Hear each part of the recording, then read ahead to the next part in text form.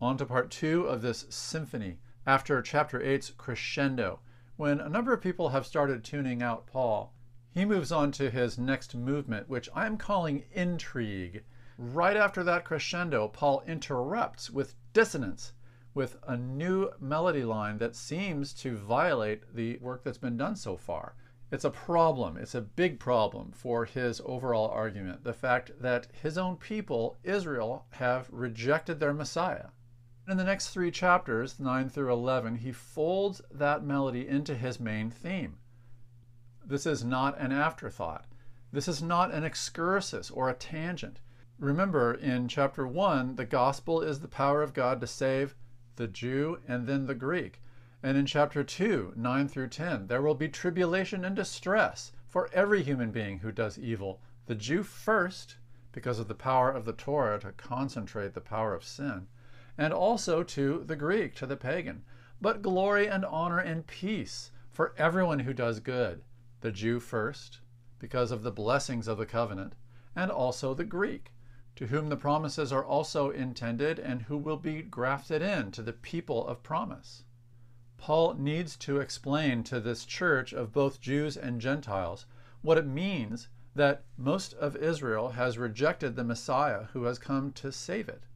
And the way Paul goes about answering this question, I don't think just for the Romans, but for himself, the way he goes about answering this question draws on Moses and the Torah, draws on David and the Psalms, and draws especially on Isaiah, prophet of what it means for Israel to be exiled and then restored, what it means not just to God's own people, but what it means for the nations. Paul draws on these figures to focus Israel's story on Jesus, descended from David according to the flesh, as the fulfillment of Israel's story and as the deep structure of Israel's meaning. Let's look a little at how he does this in Romans 9 through 11. The argument has so many details and so many appeals to Scripture that are hard to understand at first that I can't do more than a cursory run through. I hope you take some time and look at how Paul uses Israel's scriptures.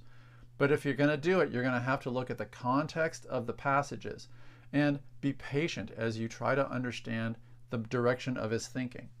He raises this nagging problem at the beginning of chapter 9. It's about his brothers and sisters, his kin according to the flesh, biological Israel. He says their rejection of the Messiah leaves him so heartbroken he wishes he could be accursed and cut off if they were to be brought in. This is not an anti Jewish exercise in 9 through 11. This is an exercise in understanding the way God has chosen to use Israel on the one hand and the nations on the other hand to bring about the fulfillment of God's promise to Abraham through Israel. In verse 6, he claims that Israel's rejection of Jesus doesn't mean that the word of God had failed. On the contrary, it kind of confirms the whole direction of God's word since the beginning of the Torah in Genesis. Verse 8 It's not the children of the flesh who are the children of God, that would have been Ishmael. It's the children of the promise, Isaac, who are counted as offspring. Likewise, with Isaac's two sons, Jacob and Esau, not mere lineage, not primogeniture, where the firstborn gets the promise, but the promise came through God's divine agency. Verse 11 that God's purpose of election, and we'll in a minute ask what kind of election this is, that God's purpose of election might continue, not because of works, not just because of sheer birth order and the rules of that culture about it, but because of the God who calls. Rebecca was told the older will serve the younger. I wish I could go into more detail on the next line. Jacob I loved, but Esau I hated. All I want to do is point you to Malachi 1 which Paul is quoting here, where Jacob stands for the people of Israel and Esau stands for the nation of Edom, Gentile. And God says that rejecting the nation of Edom demonstrates that his power is great beyond the borders of Israel. In quoting Malachi 1, Paul is demonstrating that God is using Jews and Gentiles together to get his message beyond Israel's borders. In verse 14, he anticipates the next objection. Doesn't that make God unjust? And he says, No. Verse 16, it depends not on human will or exertion, it depends on God, who has mercy. He has mercy on whomever he wills, and he hardens whomever he wills. And the example Paul appeals to is another instance of God making clear that he's not just Israel's national God. In the face off between Moses and Pharaoh, God says, I've raised Pharaoh up that my name may be proclaimed in all the earth. This is not just narrowly about Israel, this is about my word going out to all nations. Calvinists and Arminians are two camps of Protestants who fight over this section of Romans to try to outline what election means and what it doesn't mean. Well, remember, the problem that Paul is attacking in chapters 9 through 11 is the problem of unbelieving Israel rejecting Jesus. And where Paul is going with this is it's a demonstration of God's will to save everyone, Jew as well as Gentile. So these aren't just random figures, Jacob and Esau, or Moses and Pharaoh, who demonstrate that God cares about some people but not others. These are figureheads. These are personifications of nations. The nation of Israel on the one hand, and rivals and Gentiles on the other hand. Here's the point Paul is driving at with these examples. Verse 22 What if God, desiring to show his wrath, God's wrath came up in chapter 1, it'll show up again in chapter 12 and again in chapter 16. It's always operating in the background. What if God, desiring to show his wrath and to make known his power, remember, power is a recurring theme in Romans. The gospel is the power of God to salvation to all, Jew and Gentile, who believe. What if God has endured patiently vessels of wrath prepared for destruction to make known the riches of his glory for vessels of mercy, even us, whom he's called, not from the Jews only, but also from the Gentiles, the nations that are folded into Israel? What if the vessels of mercy transcend that national division? Paul identifies a way to understand what's going on in Isaiah. Verse 27 Concerning Israel, Isaiah cries out, Though the number of the sons of Israel will be as the sand of the sea, only a remnant of them will be saved. That sounds a bit contradictory. Israel will be numberless like the sands of the sea. That reminds you a little bit of God's promise to Abraham that his descendants would be like the stars of the sky. On the other hand, only a remnant of Israel, only a faithful few, will be saved. Isaiah supplies an answer to this wrenching, heartbreaking problem Paul is facing. In verse 30, Gentiles who did not pursue righteousness have attained it, ironically, but it's a righteousness by faith. And Israel, who pursued a law of Torah that would lead to righteousness, didn't succeed in reaching that. Why? Because they didn't pursue it by faith, but as if it were based on works. Paul's fellow Jews like Paul himself earlier in his life, remember? They misinterpreted the nature of their relationship with God. It was not a merely biological, merely legal relationship. It was a relationship of trust, of faith, circumcision of the heart, rather than merely of the outward flesh. In chapter 10, being ignorant of the genuine righteousness of God, the righteousness from faith, and seeking to establish their own righteousness, a righteousness of outward obedience to rules, they did not submit to God's righteousness. For Messiah is the end of the Torah for righteousness to everyone who believes. This is an echo of that verse from Habakkuk at the beginning of the book. The righteous one by faith will live. That's a promise for Israel, and Israel needs to hear it. That's where we go next in a passage I wish I could spend time unpacking with you. Verse 5 Moses writes in Deuteronomy, in the very book of the covenant of the Torah that we're talking about, Moses writes about the righteousness that's based on law, that the one who does the commandments will live by the commandments. But the righteousness based on faith says, and here he quotes another passage near the end of Deuteronomy don't say in your heart, Who will ascend? Or who will descend. Instead, in verse 8, the word is near you, in your mouth and in your heart, to obey it. A daring move. This chapter in Deuteronomy is where Moses says, This covenant is not too hard for you to keep. You can do it. And Paul has just been arguing at length that it can't be done. It hasn't been done, and it's produced only condemnation and an intensified slavery to sin and captivity.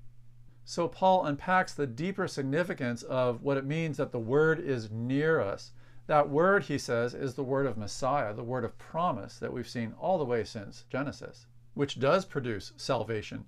With the heart, one believes and is justified, in verse 10. With the mouth, one confesses and is saved. For the scripture says, Everyone who believes in him will not be put to shame. There's no distinction between Jew and Greek. The same Lord is Lord of all, bestowing his riches on all who call on him. For everyone who calls on the name of the Lord will be saved. And that's a passage from the prophet Joel. What Paul is doing here is a very ambitious reinterpreting of the Torah in light of the fact that salvation has come through the end of the law and the prophets, their goal, the Messiah, Jesus, son of David. Jumping ahead to chapter 11, Paul anticipates an objection or a conclusion that he wants to cut off. Well, then, has God rejected his own people? Is biological Israel written out from the covenant? Have they lost their election? By no means, he says. And wow, this is a statement Christians really should have been listening to for the last 2,000 years. Instead of assuming that Israel, biological Israel, has lost its election because of its rejection of Jesus, Paul is arguing the very opposite. The gifts and the call are irrevocable.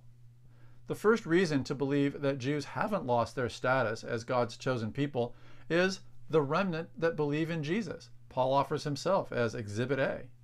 Verse 5 At the present time, there is a remnant chosen by grace. But if it's by grace, it's no longer on the basis of works, works of the Torah, circumcision, and the like. Otherwise, grace would no longer be grace. What then? The next round in this dialogue Paul is putting together. Israel failed to obtain what it sought. The elect obtained it by grace, of course, but the rest were hardened. Why were they hardened? Did God just lose his affection for his chosen people? How could that even be? The prophets promise that God is going to bring his people back, even after their infidelities and idolatries. Paul finds that answer in the scriptures. In Isaiah 29, God gave them a spirit of stupor, and you have to know why God has done that by reading Isaiah in context and seeing how the story ends and by going to Psalm 69. David says, Let their table, his own people's table, become a snare and a trap, a stumbling block and a retribution. That sounds like God has given up on his people, but Paul knows the whole psalm, and so should his readers, and so should we. Look on the right here in verse 22 of Psalm 69 Let their own table before them become a snare, and when they're at peace, let it become a trap. Let their eyes be darkened so that they can't see, and make their loins tremble continually. Pour out your indignation upon them, and let your burning anger overtake them. These are all the sinners that David is talking about. Well, you have to go on to the end of Psalm 69, starting with verse 33. For the Lord hears the needy and doesn't despise his own people who are prisoners. Verse 35 God will save Zion and build up the cities of Judah, and people shall dwell there and possess it. Their offspring of his servants shall inherit it, and those who love his name shall dwell in it. Now, Paul gives the readers his interpretation of these and other passages, which are helping provide the context for understanding what rejection means.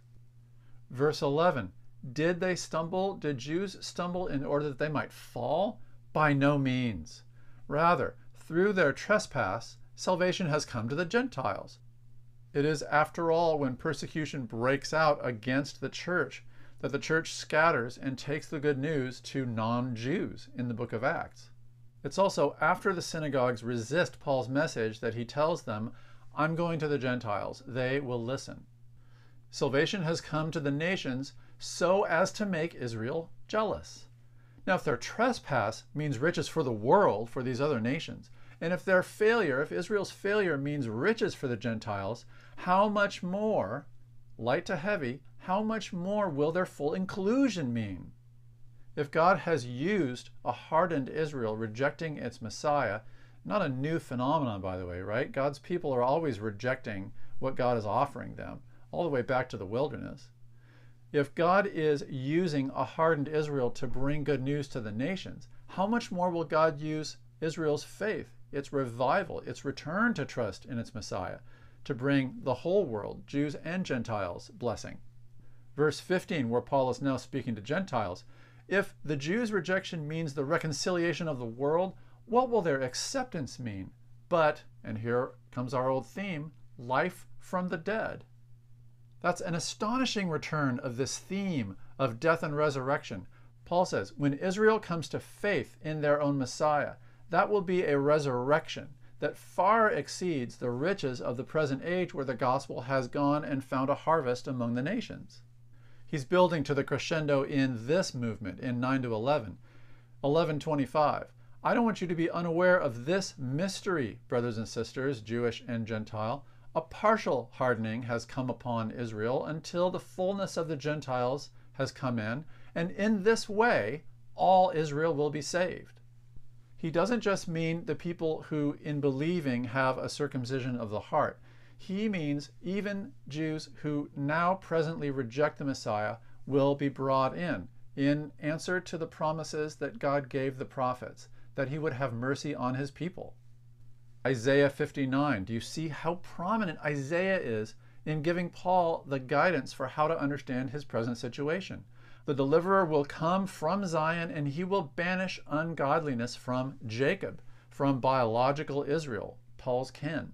Verse 30 Just as you believers were at one time disobedient to God, but now have received mercy because of their disobedience, so they too have now been disobedient, in order that by the mercy shown to you, they also may now receive mercy.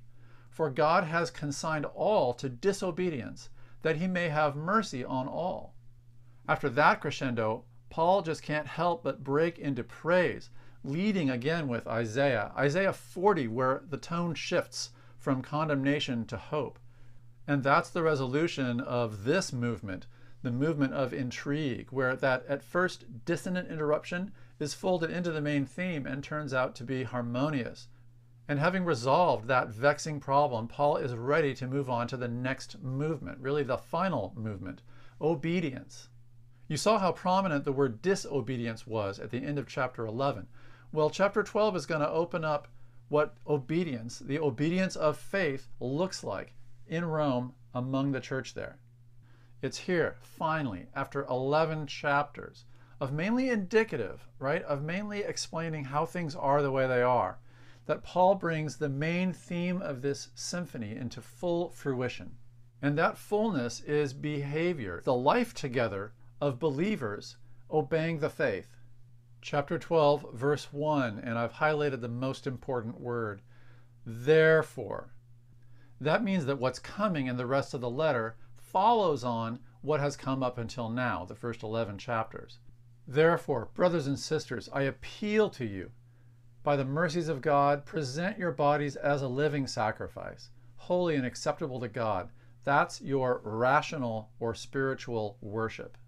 Live out the incredible gift of this new life that God is accomplishing through the power of the gospel. Verse 2 Don't be conformed to this age. Don't follow those anti themes from back in the first couple of chapters.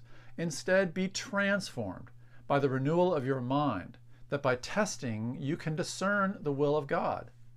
That's what Paul has labored for so long to do in consulting Israel's scriptures, to discern what is the will of God, revealed in the ministry of Jesus Christ and the reaction that it's aroused from both Jews and Gentiles, and understanding it in terms of the old promises.